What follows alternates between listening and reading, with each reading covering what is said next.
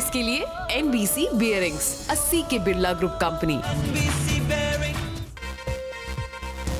BJP मुख्यालय में PM Modi ने पार्टी के करीब 100 कर्मचारियों से मुलाकात की, कई घंटे रहे साथ। पीएम ने कहा बीजेपी परिवार का आप सभी अभिन्न हिस्सा।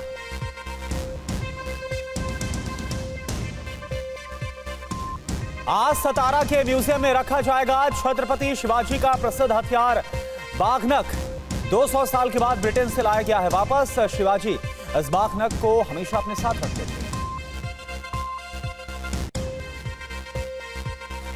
गोंडा ट्रेन हादसे की जाँच के लिए टीम गठित की गई। साजिश समेत हर एंगल से।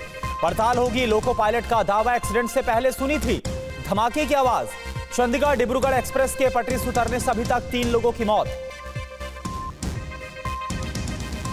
असम में मुस्लिम विवाह कानून रद्द। सीएम हिमंता बिस्वा शर्मा बोले, बहन बेटियों को बाल विवाह से बचाने के लिए उठाया गया कदम।